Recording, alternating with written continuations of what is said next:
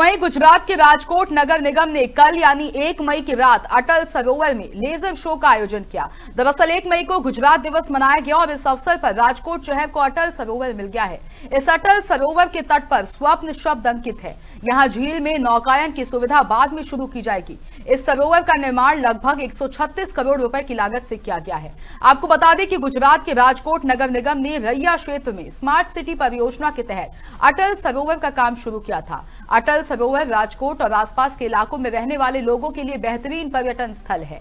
दो लाख तिरानबे हज़ार वर्ग मीटर में फैले इस स्मार्ट सिटी प्रोजेक्ट का उद्घाटन 25 फरवरी को पीएम मोदी ने किया था। कुल एक हज़ार करोड़ रुपए की लागत वाला ये महत्वाकांक्षी प्रोजेक्ट गांधीनगर गिफ्ट सिटी के बाद गुजरात का सबसे बड़ा प्रोजेक्ट है।